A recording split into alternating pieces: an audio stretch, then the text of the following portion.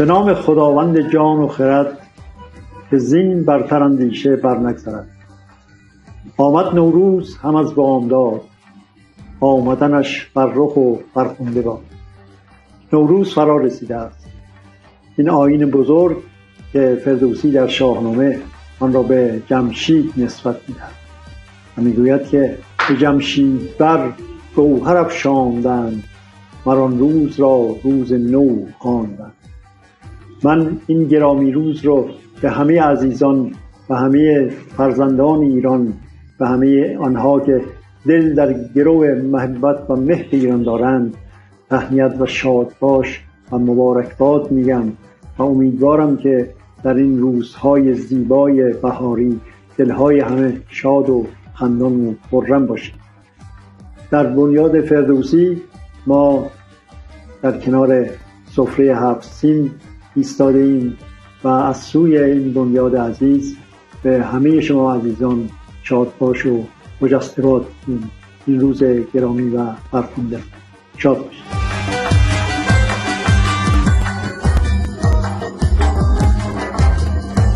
نوروز 1403 این یادگار نیاکان بشکوهترین جشن هستی به همه دوستداران فرهنگ ایران زمین و به همه هم میهنان در سراسر گیتی خجسته و همایون باد. نوروز تجلی فرهنگ ایرانی است. تبلور عشق و مهرورزی فرهنگ ایران خردورزی های فرهنگ ایران زمینه هر جا که نوروزه آنجا فرهنگ ایرانه هر جا که نوروز هست آنجا نشان فردوسی و نمادهای استورهی و آینهای پهلوانی ایران خودنمایی می‌کنه.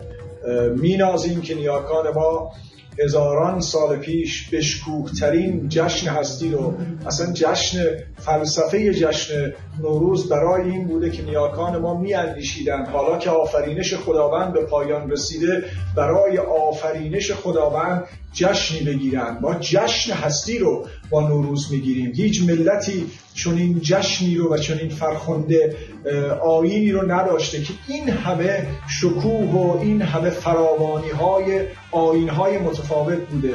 از دهم اسفند ما از وخشنکام از حتی پیش از اون از سپندار مزگان به استقبال و به پیشواز نوروز می‌رفتند. از آین فروهرگان از نوروز رودها از چهارشنبه سوری و بعد تا سیزدهم فروردین شما جشنی رو, نمی‌توانید پیدا بکنید که این گونه نمادین و زیبا باشه. نیاکان ما در بهترین زمان ممکن رو برای ابتدای سال آغاز سال خودشون در نظر می‌گرفتن. فصل بهار رو از این روی هم ما در میان جهانیان سر نوروز یک جشن ملیه یک جشن کیهانی است. هیچ نگاهی به باوری خاص نداره به ملیت خاص نداره بلکه بر جشن انسانی و سرافرازی های فرهنگ ایران رو روایت می‌کنه. تبلور آین های شادمانی ایرانی هم هست. رضایت و خوشنودی ایرانی ها از هستی رو بیان می‌کنه و داد و دهش ایرانی در فرهنگ و مهرورزی های ایرانی سپاسگزاری ها و قدرشناسی های ایرانی در فرهنگ نوروز هویداست و به ویژه شادمانی هایی که فردوسی این گونه در شاهنامه رو ترسیم می‌کنه که در نوروز که می‌شده همه و بویژه جوانان دختران و پسران در دشت و دمن میدویدن فریاد شادمانی سر می‌دادن پایکوبی و دستفشانی می‌کردن آتش افشانی می‌کردن و شادمانی های ایرانی رو بر تارک جهان باستاب می‌دادن. و از آن سوی آتش همه دختران یکی جشنگه ساخته برکران ز گل هر یکی بر سرش افسری نشسته به هر جای رامشگری همه ماهروی و همه جرموی همه جام گوهر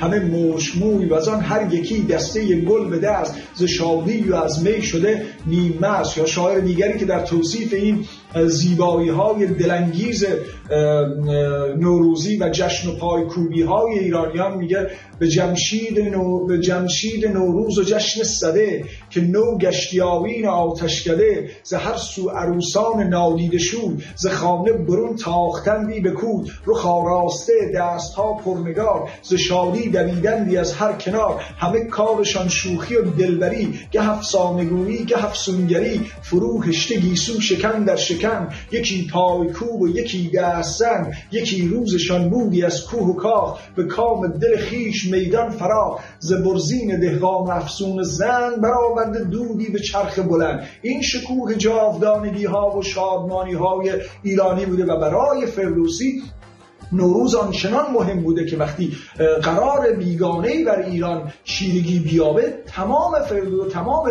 هم و غم و اندوه فردوسی این است که دیگه نوروز رو چه کنیم؟ اگر نوروز رو نتوانیم برگزار بکنیم چه چه کنیم؟ هم آتش بمردی به آتش کده شده تیره نوروز و جشن سده نه جشن و نه رامش نه کوشش به کام. همه چاره ورزش و سازدان. اندوه فردوسی دریغ فردوسی این است که مبادا این جشن ها از یاد ما برود و نخواهد رفت و ماندگار خواهیم کرد و بر تارک جهان و جهانیان خواهیم نشان. نوروز باستانی اهولانی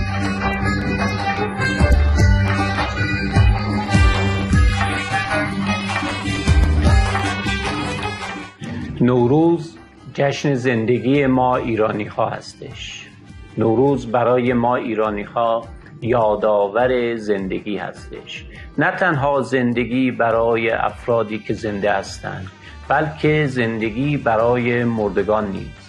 در آغازین روزهای نوروز یعنی هنوز روزهایی که ما عید رو برپا نکرده ایم روان مردگان از دنیای دیگر به سرای زندگان میان و با زندگان در ارتباط هستند.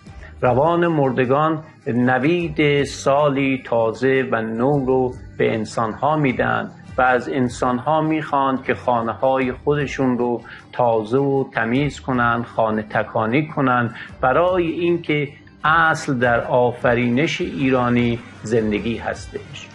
عید نوروز به عنوان هدیه فرهنگی ایران به جهانیان در بردارنده حیات دوباره هستش و جشن نوروز یادآور جشن پایان آفرینش اهورایی هستش. اهورامزدا بعد از آنکه آفرینش خودش رو به پایان میرسانه یعنی بعد از آفریدن آب و آتش و آسمان و باد و خاک و گیاه و جانور انسان رو در پایان می آفرینه این انسان در پایانی ترین روزها به تکامل می‌رسه و آفریده میشه و در واقع جشن نوروز جشن پایان آفرینش انسان هستش. از آنجایی که اهورامزدا همه چیز را برای انسان آفریده و انسان برای تداوم زندگی خودش به شادی نیاز داره شادی را هم برای انسان می آفرینه مهمترین و بارزترین جلوه شادی را ما در جشن نوروز می بینیم جشن نوروز که جشنی هستش برای تکامل انسان سالگرد آفریده شدن انسان و عرضه نیکی ها و خوبی ها به جهان و انسانی که در این جهان زندگی می‌کنه. نوروز در واقع بیانگر نبرد بین نیروهای اهریمنی و اخورایی هستش. در پایان زمستان ایزد گرما در زیر زمین گرمای خودش رو منتشر می‌کنه آبها رو گرم می‌کنه ریشه درختان رو بارور می‌کنه و زندگی رو دوباره به حیات برمیگردانه و در این نبرد نیروهای نیک و نیروهای خوب بر نیروهای بد پیروز میشن و چیرگی پیدا می‌کنن.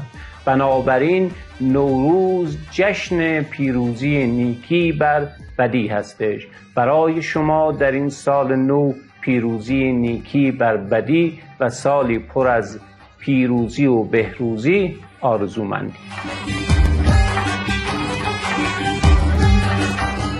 نوروز زادگاه انرژی ها خجسته ترین رویداد طبیعت و ارمغان زندگی و زیستن برای همگان است. زیرا با طبیعت و فطرت انسان منطبق است و هر ساله جریان دارد. نوروز با بهار پیوند ناگسستنی داشته و کارکرد نمادشناختی آن همواره جایگاه خود را حفظ نموده است و در انواع ادبی سخن پیام نوشدگی دارد. چانجا که شاعران و نویسندگان جهان بیرون را میپیمایند و چانجا که جهان درون را میکاوند. نوروز همه عناصر طبیعت را که بنیاد تمام جشنها و آینهای ایرانی است پیرامون خود گرد آورده است. نوروز پیام آور چرخه طبیعت و یگانگی ازداد و شادی بخش روانهای ناامید است. نوروز همواره با شکوه و پیروز است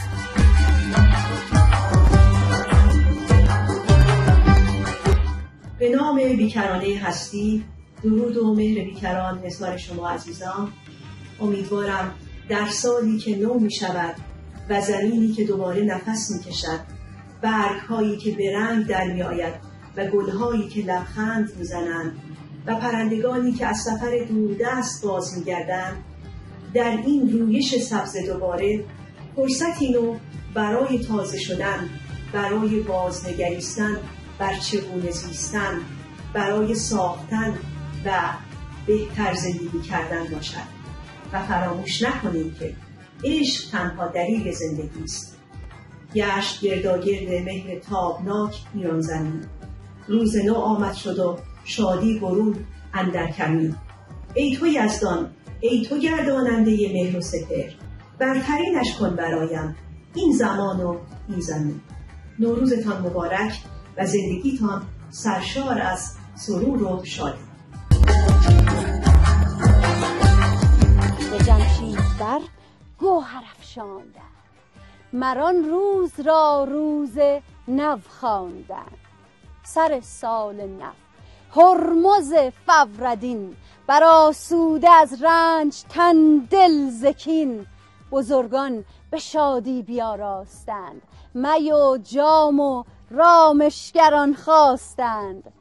چنین جشن فرخ از آن روزگار به ما ماند از آن خسروان یادگار.